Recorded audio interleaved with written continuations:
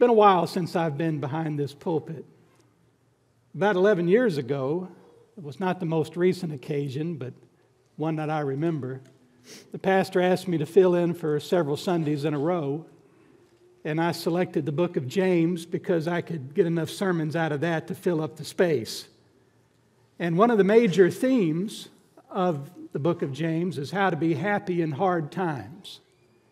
And that was the week, I think it was the week, we found out that my wife has cancer. She still has cancer, and the treatments are successful. Thank you for your prayers.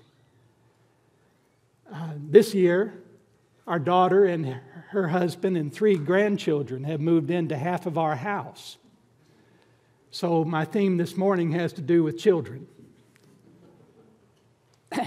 I'm hoping that the pastor will assign me a topic something like uh, how to cope with a million dollars for the glory of God. you know, maybe, uh, maybe something will work out. But uh, God doesn't let his spokespeople get away with just talking to others. We, uh, we have to be hearers of the word and not just preachers only. 60 years ago, when I was a preschooler, I spent uh, my school hours in a place we called nursery school. My mother had to work, sometimes two jobs, to support our fatherless home. And uh, a question came up among my friends Who's the best? Well, that question could mean many things. Often we could settle that with a foot race or with a wrestling match. Or we could see who could do the most push ups or the most pull ups or who could throw a rock the farthest or the most accurate or things like that. Simple issues that could be easily settled. But on this particular day, there was a contest that I didn't know how to stage, I didn't know how to answer. The question was this Who's the best? Elvis or the Beatles? Well, I was not a music aficionado. I, I didn't know who they were. I, I did sit on my living room floor and saw Ed Sullivan's first broadcast of the Beatles. I remember that. My grandmother said, That hair's not real. and soon I'd be watching Elvis's movies but I didn't know them enough to fight for who was the best. But my friends took it very seriously. It, it almost came to pushing matches. So I looked at both sides of it and I thought, well, I have more friends in this group than that, that group, so I'll side with these over here. And I remember throwing my two cents in. Well, if you're interested, Elvis sold 139 million records and the Beatles sold 183 million. So you can decide for yourself if you wish. Today, people argue over who's the greatest athlete. They call them the greatest of all time. That's right, the GOAT. And for basketball, who do you think they'll say? Who? Well, uh, a record I saw would be Michael Jordan, but some people want to say Kobe Bryant or others. Football, Tom Brady comes up a lot. Baseball, Babe Ruth was on the list I saw. This was easy. Golf, of course, Tiger Woods. Tennis, easy again, I think, Roger Federer men's tennis anyway. Boxing. I am the greatest. Muhammad Ali said that about himself. Many others agree. Of all time. Hockey wasn't even on the list I saw, but who would you think? Wayne Gretzky. All right. So, who really is the greatest of all time? People argue about this. The disciples also were arguing about this. they had a very important question Who's the greatest in the kingdom of heaven? Now, this question appears in Matthew, Mark, and John and Luke. Mark and Luke show them arguing about it. But in Matthew's account, they bring the question to Jesus, which is the best place to bring the questions to. You're going to get the right answer there. And we read it in Matthew chapter 18, verses 1 and 2. At that time, the disciples came to Jesus and said, Who then is the greatest in the kingdom of heaven? And he called a child to himself and set him among them. Today's lesson is Jesus' answer to that question Who is the greatest in the kingdom of heaven? And other important things Jesus said along the way. Now, some of the disciples had recently been shown great favor by Jesus himself. In Matthew chapter 16, Peter was led by the Holy Spirit to answer one of Jesus' questions when he said, Who do men say that I am? Other disciples said, Well, you're one of the prophets, maybe Elijah, may, some think this and that. But the God Almighty told Peter who he was. And Peter spoke up. This time he, he got it right. You are the Christ, the Son of the living God. And Jesus said in front of everybody else, Blessed are you, Simon Peter, for flesh and blood has not shown this to you, but my Father which is in heaven. And you are Peter now. That name means rock, you know. And upon this rock I will build my church, and the gates of hell shall not prevail against it. And I'll give you the keys of the kingdom of heaven. And whatever you open will be open, whatever you lock will be closed. Our Catholic friends believe that means that Peter, in some way, is the greatest under Jesus in the kingdom of heaven. He's his representative on earth. Most of us believe that that's not really what Jesus was getting at. Peter was named after the rock, but Peter is not the rock. All of us make up stones in the great temple of the house of God. Peter said that himself. We're living stones. The real rock upon which the church is built is that truth that Peter spoke by the Holy Spirit. You are the Christ, the Son of the living God. But in recognizing Peter as the instrument of that declaration, Jesus conferred upon him a high privilege, a unique calling. In any case, one chapter later, in chapter 17, Jesus called away Peter, James, and John to a mountain we know now as the Mount of Transfiguration. And there, these three disciples were privileged to see something nobody had seen.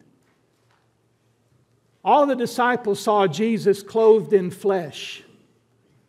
But here, with only Peter, James, and John watching, he manifested himself in all his glory, shining like the sun. Even Moses and Elijah showed up to have a conversation with Jesus about what the gospel calls his soon exodus, leaving his life of enslavement to a life of freedom. We know that as his atoning death for us. Peter, James, and John got to listen in on that conversation. We should not be surprised, therefore, that this dispute would arise among the disciples. Who is the greatest? Furthermore, after Peter's confession, Jesus began to tell his disciples that the Son of Man must die. I'm going to be leaving you. That was hard for them to take. Peter disagreed with it. But he said that nonetheless. It may have began to gnaw at them when he's gone, who's going to be our leader? And so the question can naturally arise Who is the greatest in the kingdom of heaven?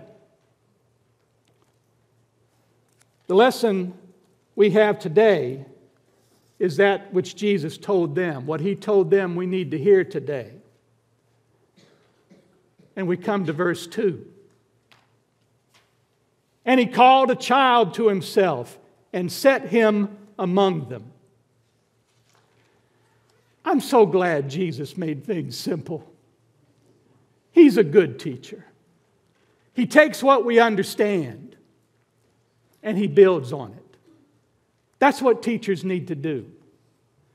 I can't tell you, you've probably experienced it too, the great frustration I have had in some of my education ability, uh, opportunities, sometimes with a lack of ability.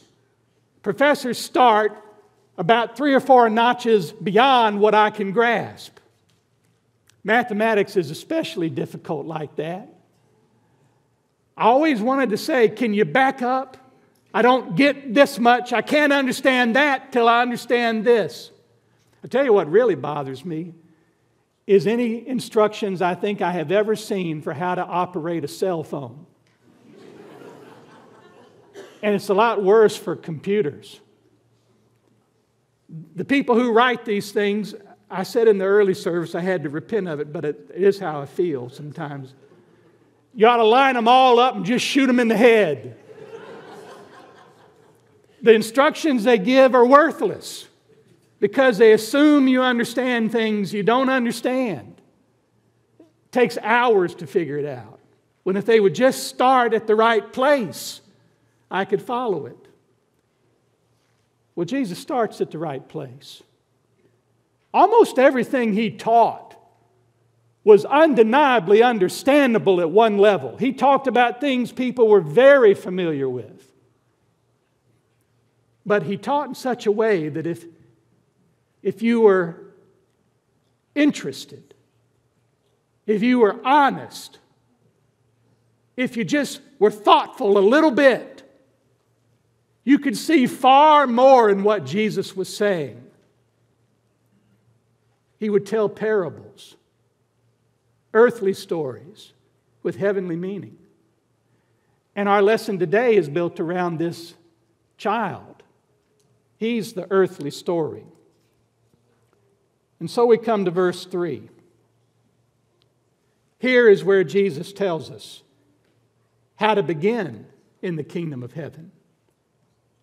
And then in verse 4, how to grow in the kingdom of heaven. Let's read verse 3. And he said, Truly I say to you, unless you change and become like children, you will not enter into the kingdom of heaven. And then how to grow?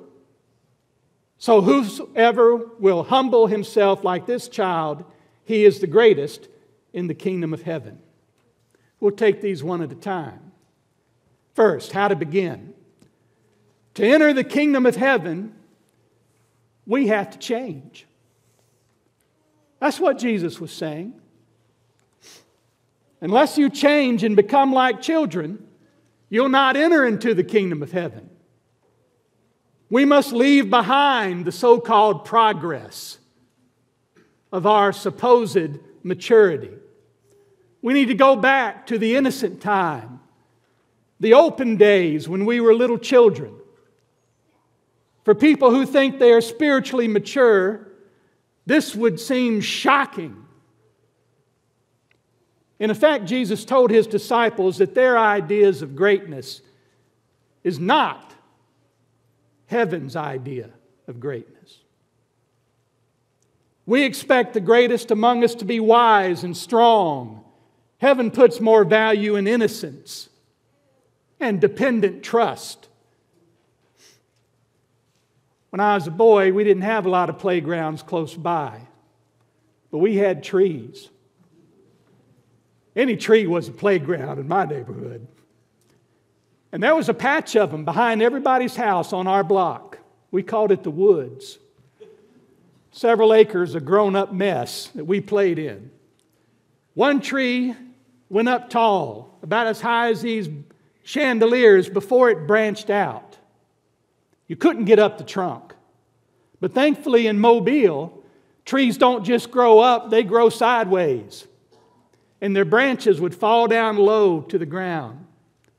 And if you could grab a hold of one of those branches and you were skillful enough, you could wiggle your way up to a stout branch and work your way over, negotiating all the little branches that come out of the limb, and you could get to that trunk. And we did that, about three of us. But when we got to the trunk, it was getting dark. And we were afraid to work our way back over. And that's a long way for a little boy to jump. So we started hollering out there in what we called the woods. One little boy, I think it was the son of one of the neighboring fathers, one of the, his brothers was up in the tree with me, ran and got his dad, and he came. He saw we were in a fix. So he did what any dad would do stood at the base and said, Jump, I'll catch you. I looked at him and I said, Not me. not, not, not me. No way. But his son, that's a different story. His son had practice, I think, jumping off the bunk bed. His son understood his father had experience with his father. He didn't have any trouble. He jumped off there like a robin out of a nest, baby. And his dad caught him, no problem. Then somebody else had courage to do it. And I thought, well, if it worked twice. so I did. And he caught me, and I'm living here today. All right. We rely on the Heavenly Father. And if we know Him as our Father, it's a lot easier to rely on Him. And that's the kind of faith we need to have. We need to be like little children. The wise and the strong rely on themselves. And sometimes they end up getting treed. They reject the rule of God and establish kingdoms of their own. Jesus said that to enter the kingdom of heaven, we must be children of heaven. We must not say that my ideas are best. We must not say that my way is the best. The life I want to lead is the best. We must be willing to accept Jesus and His way as the best. He said, I am the way, the truth, and the life. No one comes to the Father but by me. And if we should think that Jesus is asking too much here, think about what he told to Nicodemus. He didn't just say, You need to be like a child. He said, You must be born again. You talk about starting over. That's all the way back. Now, Nicodemus was a great teacher of the Jews. He spent a great deal of time qualifying for that position, known all throughout Judea as an authority on Moses' law, a settler of disputes, the great teacher of Israel, Jesus called him. And yet Jesus looked at him right in the face and said this Truly, truly, I say unto you, unless someone is born again, he cannot see the kingdom of heaven. Well, Nicodemus heard that in a shocking way. That's strange. That's how do you expect a man that's grown to enter into his mother's body again? That's too much. Jesus didn't back up one bit. Truly I say unto you, except a man is born again, he cannot enter into the kingdom of God.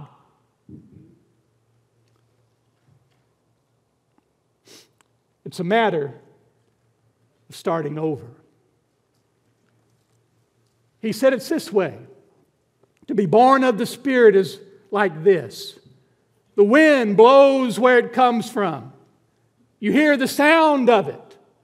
But you can't tell where it comes from and where it goes. So is everyone that is born of the Spirit.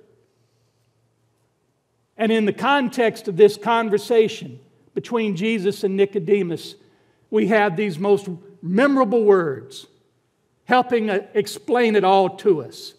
The most famous verse of the gospel, John 3:16. For God so loved the world that he gave his only begotten son, that whosoever believeth in him should not perish, but have everlasting life. Nicodemus could give you the list of duties. Nicodemus could explain how one law relates to another, has precedent over another. He could outline all the possibilities of serving God under the law of Moses. Jesus told him, You got to start over. You got to get back to the Spirit. You've got to trust the one who is given for the salvation of the world. So, to begin in the kingdom of God, we must be changed.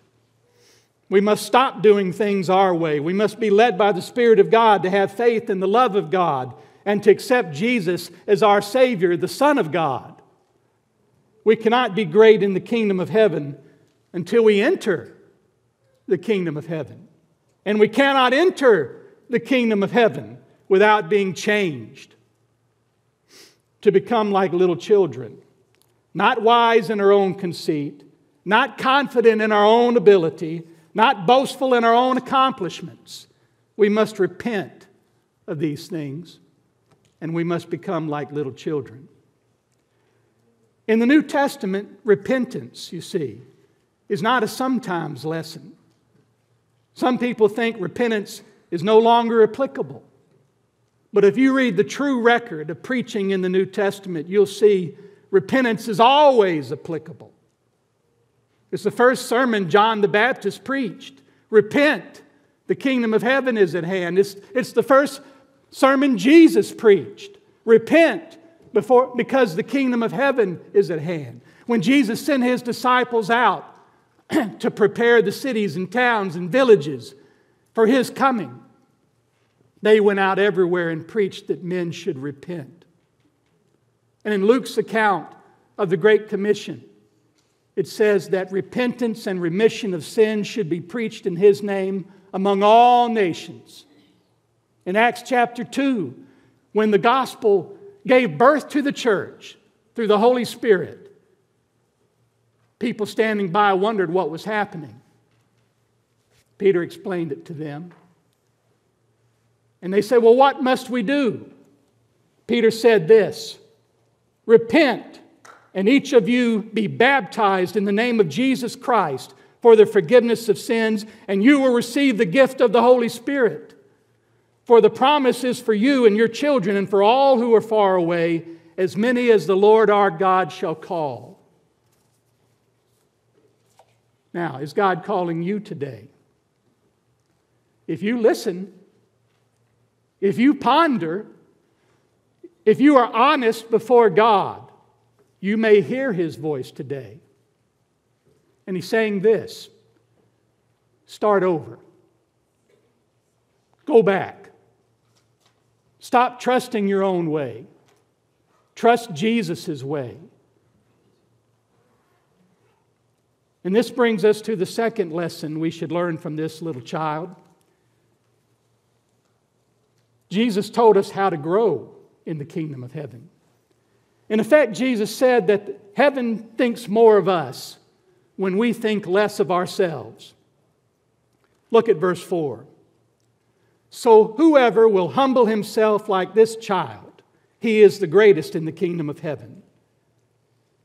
You know, the kingdom of heaven is not full of people this world calls great. Our Savior, the one who best lived out the kingdom of heaven, was meek and lowly. And Paul said in 1 Corinthians 1 Consider your calling, brothers and sisters. Not many wise according to the flesh, not many mighty, not many noble. God has chosen the foolish things of this world to shame the wise. And God has chosen the weak things of the world to shame the things which are strong, so that no human may boast before God. If pride is the root of all sin, Humility, in some surprising way, is the root of all love and righteousness. And that's why Jesus said, we need to humble ourselves like this little child. Pride says, I am important. I must be served. Pride disregards others, even can disregard God. Pride is the root of all evil and all sin. Humility says, You are more important than me. You must be served more than me. Humility leads us to love others and to love God Himself. In some surprising way, humility is the root of all love and righteousness. If we practice what we call our righteousness for righteousness' sake, then our righteousness is no better than that of the scribes and Pharisees. They strained at gnats and swallowed camels. They did what was considered right and proper on the outside, but on the inside, they were full of wickedness, deceit, and selfishness. If we prefer to glorify God and do what is best for other people, before we seek our own desires, if we humbly practice a true love for God and for others, then we'll be led by that love into the true righteousness. Later in Matthew 22, Jesus said that all the prophets and the law hang on these two commandments to love the Lord your God with all your heart, soul, and mind, and to love your neighbor as yourself. And Paul said in his most famous epistle to the Romans, Owe no man anything but to love one another. For the one who loves his neighbor has fulfilled the law. For this, you shall not commit adultery, you shall not murder, you shall not steal, you shall not covet. And if there is any other commandment, it is surmised, summed up in this one saying You shall love your neighbor as yourself. Love does no wrong to a neighbor, therefore, love is the fulfillment of the law. You see, God is interested in what we do because what we do affects other people. But even more than what we do, God is interested in why we do it. Because that comes from the heart. And God judges us for our heart's position, even more than the practices we want to lay claim as the basis of our merit. Some have thought that the child is a role model because of the great faith that children have. I don't think really that's what is being said here. Children can have a pure faith because they are innocent of the complicating questions that plague the adult mind. Their faith can be simple and pure. Children can have a passionate faith because, let's face it, children are passionate about a lot of things. But I don't think we should say that many children have a very strong faith. If we're honest about children, children have a vulnerable faith. Look how many children purely have faith and passionately have faith in the Easter Bunny and the Tooth Fairy and Santa Claus. You want to see passion? See a little five year old kid pull out a tooth and put it under his pillow. See a child make out a list to Santa Claus. See how all the excitement they exhibit on Christmas Eve. You'll see pl- plenty of trust. You'll see plenty of passion. But not many children keep that up past fifth grade. Now, children can grow into a strong faith. And that's why we need to plant seeds in these little ones. Those small little saplings grow up to be firm and strong, but not without the tests of experience, not without the increase in wisdom. So while children are our role model for humility, I really don't think we should say that there are many children with very, very strong faith. They can be born again and they can grow into strong faith. But as a rule, children are vulnerable, and Jesus knew it. And that's why he says what he says later. Adults must become more like children when it comes to humility. In adopting childlike humility, we learn to trust God and not ourselves. We learn to live for God and not ourselves. In short, we become true children of heaven. We live under God's rule. And the greater we love in humility, the greater Almighty God recognizes us as carrying the heart of His true children. Beloved, let us love one another, for love is from God. And everyone who loves has been born of God and knows God. The one who does not love does not know God, because God is love. So, number one, to begin in the kingdom of heaven, we must start over like children. We must abandon our own way and accept Christ's way. Number two, to grow in the kingdom of heaven, we must humble ourselves. We must see others as more important than ourselves. And if we love children, then we must recognize how vulnerable they are. And Jesus knew this. This leads us to the third lesson in Jesus' example of the child. We see this in verses 5 through 7. In heaven's judgment, there is nothing more precious on earth than little children. Let me say that again. In heaven's judgment, there is nothing more precious on earth than little children. 5 through 7. And whoever receives one such child in my name receives me, but whoever causes one of these little ones who believe in me to sin, it is better for him that a heavy millstone be hung around his neck and that he be drowned in the depths of the sea. Woe to the world because of its stumbling blocks, for it is inevitable that stumbling blocks come. But woe to the person through whom the stumbling block comes. Listen, Jesus quickly forgave adulterers and prostitutes like the Samaritan woman. Jesus quickly forgave publicans who robbed their countrymen to enrich themselves, like Matthew, the tax collector. Jesus quickly forgave even people who persecuted other Christians to death, like the Apostle Paul. But when it comes to offending little children, these words show us a different side of Jesus.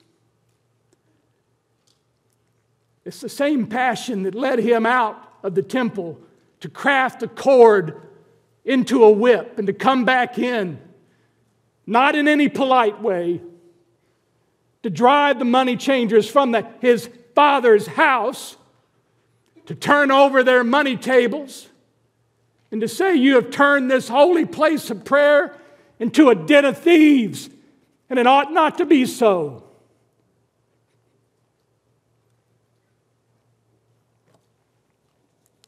When it comes to children, there's no more important thing we ever do than to leave them a good example. There's nothing more important we ever do than to train them in the right way, to encourage their faith. Jesus was very jealous for the welfare of children. Imagine the worst crime possible against another human being what do you think it would be? Look, it doesn't matter how bad that crime is. It's far worse when committed against a child.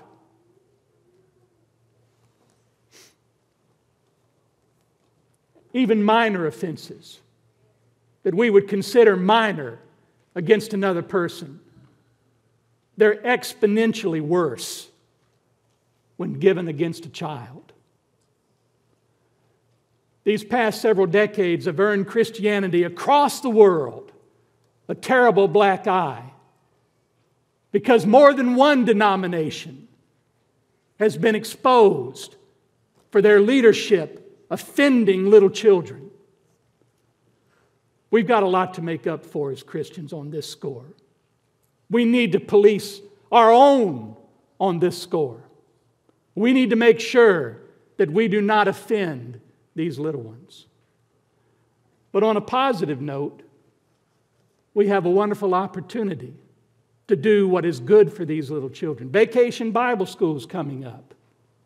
Some of you are already enrolled to teach for that. Some of you little children are anticipating coming to that. Look, there is nothing our church ever does that's more important than that. If what Jesus said is true, there's nothing more important we do. Charlie, thank you for your missionary work there. It's wonderful that you're helping spread the gospel across the world. But I'll tell you this heaven's looking more at what you do for the children over there than the adults.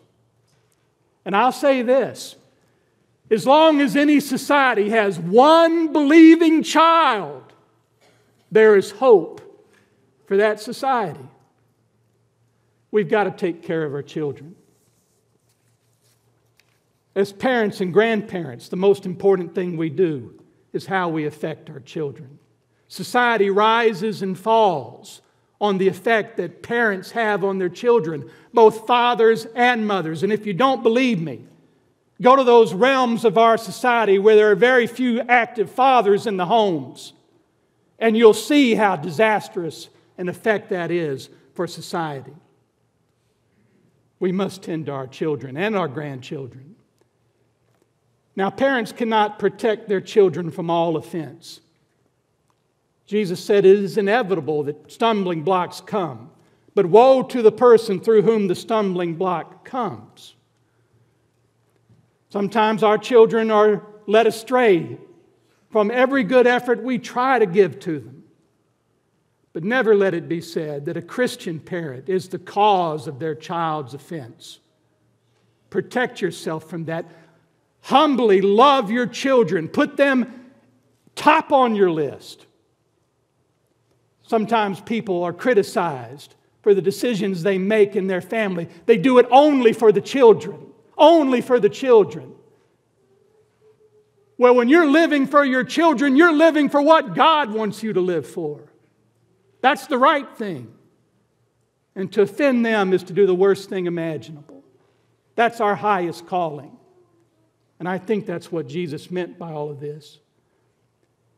In verses 8 and 9, Jesus said it would be better to cut off your hand, give up your occupation, cut off your foot, change your way of life, pull out your eye, anything you covet or are desirous for, abandon it.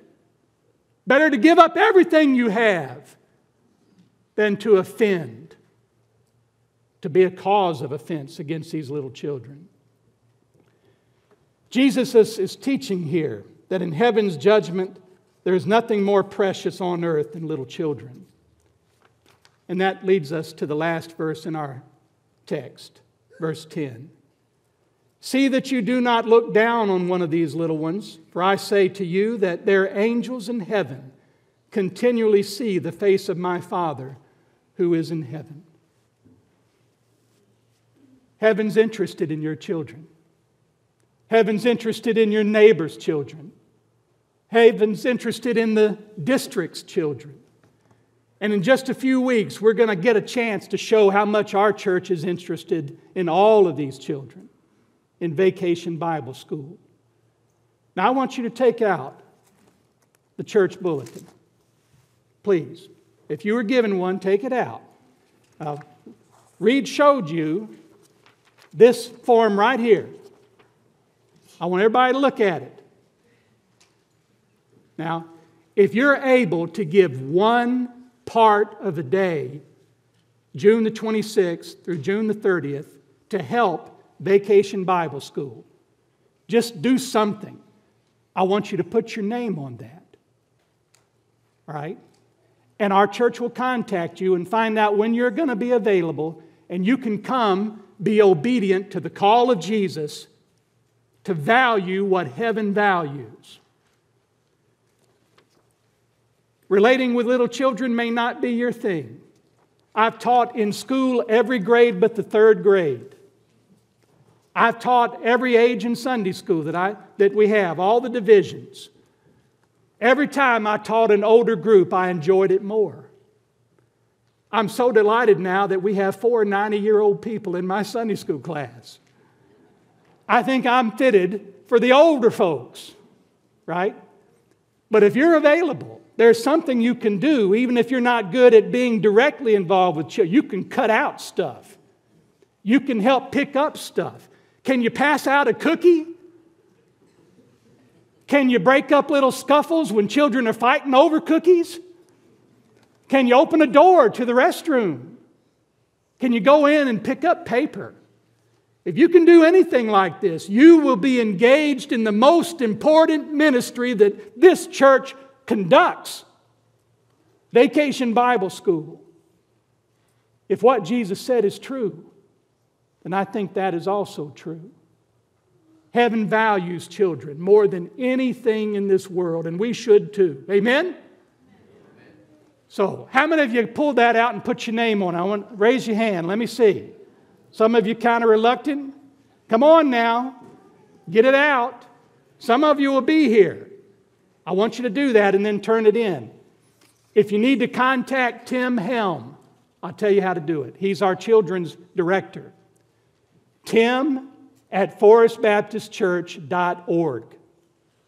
Tim at forestbaptistchurch.org. You send him an email, say, I'll be available this time from 8 to 12, June the 26th through June the 30th, and he will get back to you. There's something you can do in this important ministry. Let's stand. We're going to pray just now. And if you need to get started in the kingdom of heaven, if you need to go back and start over, like Jesus said, become like a little child, give up your own ambitions and take on Jesus' way. You can publicly do that now. Jesus said, if we confess him before men, he'll confess us before our Father which is in heaven. If you are a Christian, but you've grown weak in your commitment, you haven't been as humble as we need to be. You can start afresh with that too. And now's the time of decision. Now's the time to recommit yourself. I'm going to stand here and we're going to pray. Pray right now, and then I'll come. Joe, you come ahead now. The instrumentalist can come now. And we're going to pray. And if you have not yet received Christ as your Savior, you're ready to quit depending on yourself. Have that innocent trust in Jesus. And you can come and profess that publicly here. We'll pray with you, and you can leave this place knowing that you've been born again. Let's pray. Our Father in heaven, we pray that the Spirit of God will attend to that heart which may be furthest from you. I pray you'll bring faith to that heart and I pray that you'll bring courage to walk this aisle and profess faith in you.